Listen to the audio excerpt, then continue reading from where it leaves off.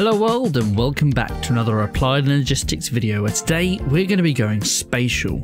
Now when you first see spatial storage you probably think of something similar to this as we showed in the previous episode with basically giving you a big amount of storage, especially when you go inside here and if you type in spatial you'll start seeing these storage disks where you see 2 cubed, 16 cubed and 128 cubed. However, it's not all about to do with items, it's about to do with physical structures. Now, it's a very complicated thing to get going, but once you wrap your head around it, it's not too bad. You're going to need a handful of different things, though, to get this started. Main thing going to be the spatial pylons. These are made with two Fluix cables, four quartz glass, two Fluix dust, and a Fluix crystal. You're going to need plenty of these, but you only get one per craft, so it's a little bit expensive. Next, you're going to need a spatial I.O. port. For this, you're going to need an ME I.O. port, two Fluix dust, three glass, an engineer's processor, and two ingots. Now, if you haven't seen already, the ME I.O. port is made with two drives, a logic processor, two ingots, Fluix, cable, and some glass. And then it gets to your three different types of discs. For this, you're going to need three different sizes depending on how big you want it. The first one for the two cube spatial components, you're going to need four Fluix dusts, an engineered processor, and four gold dust. You get one of these at a time. Then from that, it's the exact same craft, but using the Spatial 2 components to get the 16 cubed, and then the same goes for the 128 cubed. From that onwards, you can just make your simple uh, cell craft, which you've seen plenty of times over, and then depending on which one you want to use, you just slap that in the center. Or if you so want to, you can make the craft and then put any component you want inside, just like this, and then you can shift click it, or doesn't look like you can shift click it out, just like other cells. Now this here is going to be our first basic setup here. Now I'm going to demonstrate what it does first, and let's see if you can guess what it is.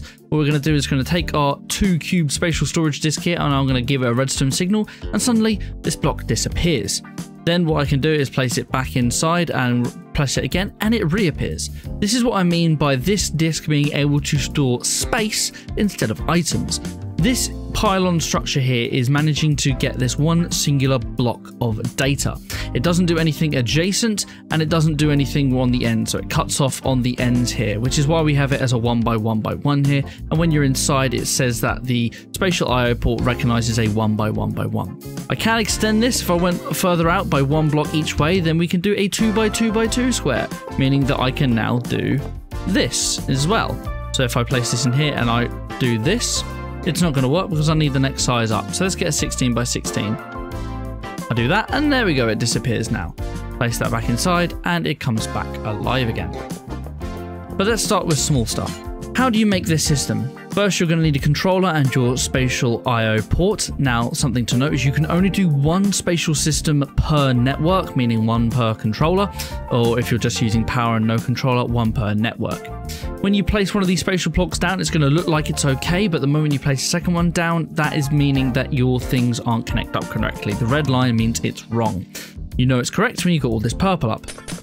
Now each pylon is going to use up a channel as you see here. We've got three channels coming in and we've got our three different pylons. What you want to do is the X, Y and Z axis in order to define an area that you want to actually create. Now this can be as long as you want, but obviously the largest spatial storage disk can go up to 128 by 128 by 128, which is a very large area. So I could go out this way 128 blocks up and that way 128 blocks. And that would be our largest area, as long as you know that the bottom isn't going to be used because it doesn't work with anything adjacent like that. And it cannot be anything up adjacent on this side as well. So it's only within the area. So think of this spatial pylon as a frame. Besides that, it's all pretty self-explanatory. When you have it powered, it goes purple as you can see here, and then it gives you your information inside. There is a maximum amount of power it can hold and how much it can store, as you can see here. This can be toggled between RF and AE if you so wish. It tells you how much the power is going to be required in order to actually make your blocks disappear. In our case, it's 10 KE. Um, and then you have your efficiency. We're going to talk about efficiency in a second, and then you have your um, spatial area that you can do, which is at the moment a one by one by one block. Now, the only thing you need to remember with this is that you can actually see something a little bit deceptive here. If I place one more block here, everything goes purple as if it's correct, but inside of here it even says what it is, but this has to be all even and exact. If I click this now, even though it's sort of saying it can do it, it's not going to do it. It's only when everything is exactly even like I had before, will it work. Of course, I need to change the disk there for that one to work. There we go. How about we get to something a little bit more advanced? Here is the exact same setup here with a diamond block here, but what we have is something a little bit different. When I right click this now, you can see it's just changed block. Now how have I done this?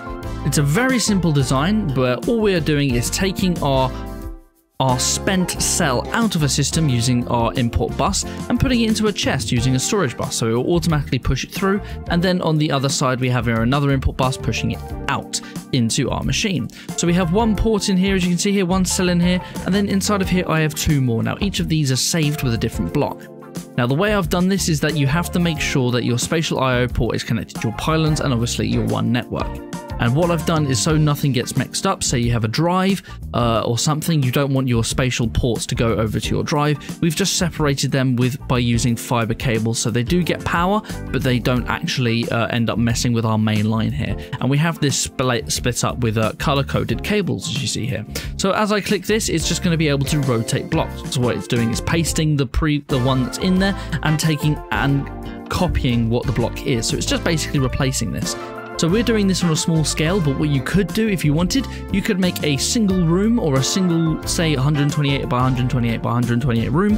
Inside of that, you can build, say, four or five designs, and then you can just rotate them all of one simple button. It's pretty cool and it's a little bit advanced. I will say that this design is not mine, this is from the Minecrafters, uh, but anyone could figure this out. Something else to note is that I did try this with a regular chest, but for some reason it wasn't really pulling them out in a good order, so I don't know if there's any specific uh, with the Skystone chest, but it just seems to work better with it.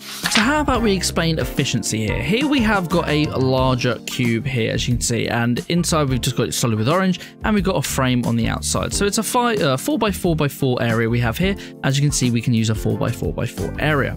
So inside of this, all we have to do is now right click on this, and obviously it disappears. Hooray.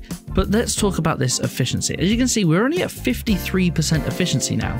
Now, all the efficiency basically means is how much power is going to be used. Because we're not very efficient, more power is being used. As we see, we've got about 1 million AE being used every time we want to hit this button, which is quite a lot. We are using creative power here, so it doesn't bother me, but in your single player world, you want to be saving as much power as possible. Now, the very simple way of getting more efficiency is by simply adding more pylons. If I add more pylons along here, I'll just add two more lines, as you can see here. This is just going to make your efficiency go up to now 82, and as you can see, that's already dramatically dropped our power usage to 329,000 as you can see here. So it's a lot better. Now, what you want to make sure is that you have these connected with your cables. You don't want it connecting directly straight away, otherwise that'll break the whole system. So you want to have a link using these first. Now, these don't have to be matching. You don't have to go all the way to the very end. Uh, but as you can see that your efficiency drops down. So what we can do is we can make these the same sort of length over here and add a few more. Now these aren't touching the ends, but now we're at 96%. So you just got to sort of fiddle around to see how much you want. And there we go. We're now at 100. Now 100% efficiency makes this only use 156,000. So it's a lot better. And now for something really advanced. Here we have a base. This is my little house here. It didn't take me long to build, not gonna lie, but inside we have a couple of different things. We've got ourselves a drive, we've got ourselves our terminal here so we can access it, and we can do a bit of auto crafting if we so wish. Now, outside of this, this is where I'm keeping my controller. This is going to be my base, but there's something I can do pretty cool with this. What I can do is if I take a button here, I can just put it on this spatial port. You probably guess where this is going. I'm able to zap my entire base completely away, and I can have this on me wherever I want. All I could do is I could just pick this up, I could then take all this system and I could walk away and then completely paste my base somewhere else, which is pretty powerful. However, there is something else I could do. Similar to what I was saying over here is that I could put a completely different build inside this area and just paste it in, which is pretty cool. So what I have here as well is I've got our same system going underground here where it will automatically go around, out and then back in. So I can paste this down as much many times as I want, as you can see here, which is pretty cool. But there's something else I want to do as well, and I'm going to show this off very shortly. The first thing I want to show is that we can obviously activate this with the redstone signal, so the best way to do this, if you want to, is using a P2P tunnel, meaning you don't have to do it directly on the block, and you can do it from a designated place away in your base. If I right click this here, you can see it disappears. Now something to note is that with those all those terminals inside of here, if I click that, when I'm in this terminal, I can see it. That is what this little block is here. It's connecting to my inside my house. But something to note is that when this is loaded into a tile, you will not be able to see what's inside. It's only when it's loaded into the real world that things sort of connect. But there's something else I can do, which is quite powerful. If we go inside the base here, we have got another toggle switch here, and this is linked to a, another P2P tunnel. Because there's something very cool you can do with this. We can be inside the cell itself. It's pretty powerful. Now, we are in a void, but don't worry, you can't actually get out of the edge. You can only be within however size pylon you've made. So if you wanted to, you can make the pylons a lot bigger, and then you'll be able to have your little space out here. Now, something else which is pretty cool is you can build inside of here, and it will obviously save, and if we go back to the other world, like so, that is going to transport with us as well, as you can see. Now, something to note is that I've made this a lever. The reason I've made this a lever is when you have a button, sometimes it can glitch and the button will stay in the press position when you're going between both worlds. Now, something that I have, obviously I have this linked up, but how do I have this linked up? Very sneakily, I have hid ourselves a one of these quantum link chambers. The quantum link is linked to another quantum link that I have here. This is how I'm sending my redstone signal through dimensions and allowing me to actually press my redstone spatial port out here from inside the disk.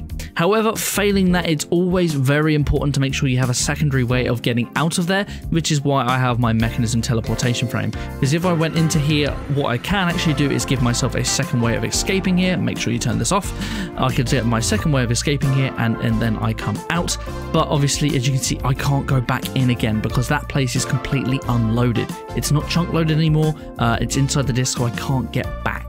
So that's why you want to make sure you have your redstone signal not being sent, even though it wouldn't have power anyway, but now it works and we have our chambers linked up again. Now there's one more thing that's very cool and quite important when it comes to an AE system, and this is using a spatial anchor. This is made with three spatial pylons, a 128 cubed spatial component, two Fluix cables, two iron ingots and an engineering processor. And what this essentially is, is a chunk loader. If we go over to our handy little area over here, this is our most advanced base, we place this down here, it will activate, and what we can do is we can right click on it and it will tell us some information. It's currently using 86 AE per tick and it's loaded three chunks, and this is spanning across multiple worlds if we had more worlds uh, enabled. Right now we only have one world because obviously this is all in this section. However, if I press this button here, what's going to happen? The spatial anchor is actually going to still say one world because it's not exactly another dimension, it's actually on a card, so make keep that in mind. However, if we had our quantum link in the nether, this would start chunk loading in the nether as well.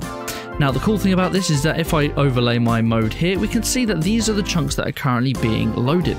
We've got three chunks, and the reason we've got three chunks is because that is how far our AE network is expanded to.